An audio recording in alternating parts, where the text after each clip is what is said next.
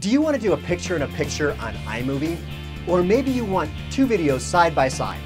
I'm Brighton West and in this video, I'll show you how.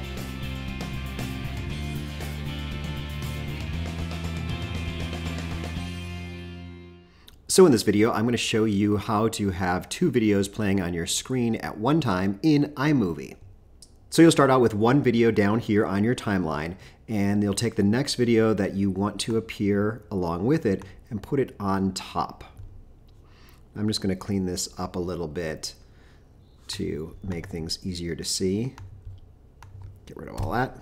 So now what you can see is if I play through the timeline, I've got the video underneath playing and then it switches to the video that is on top and then switches back.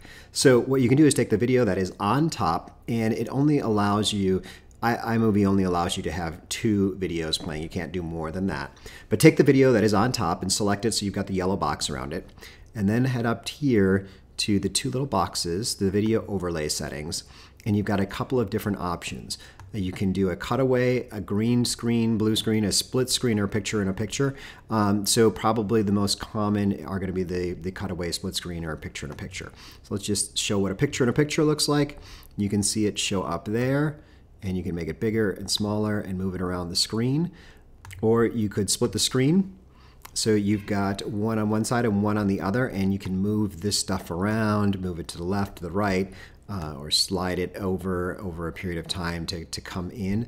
Um, and the cutaway is just the, the standard going from one screen to the other. So let's see what that looks like now. So we've got it here.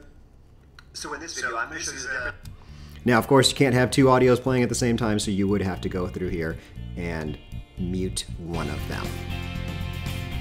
iMovie is a great, simple tool. If you're ready to step up to a more advanced tool, I recommend ScreenFlow. It's $100, but it has a lot more functions than iMovie without being complicated. It's a great tool for novice editors. I actually use it daily for parts of my videos. Click the link down below if you'd like to try out ScreenFlow.